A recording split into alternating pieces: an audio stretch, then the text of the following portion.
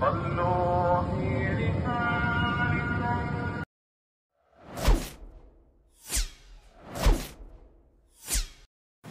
Baru-baru ini dunia digemparkan dengan berita di Dubai, UAE dilanda banjir kilat yang dahsyat.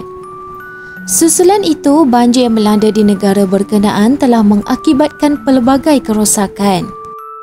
Hujan yang lebat pada malam 16 April Selasa juga mengakibatkan lapangan terbang antarabangsa Dubai turut dinaiki air dan terpaksa menghentikan operasi mereka.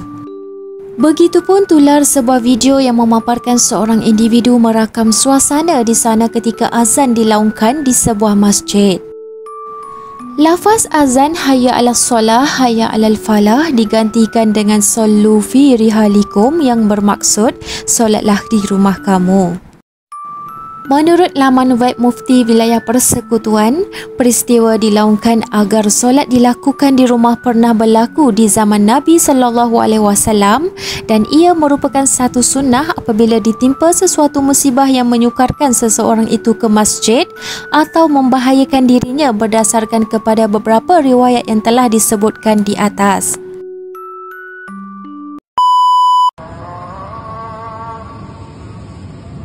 أشهد أن لا إله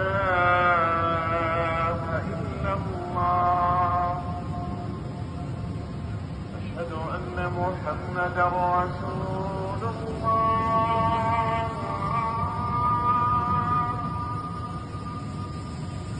أشهد أن محمدا رسول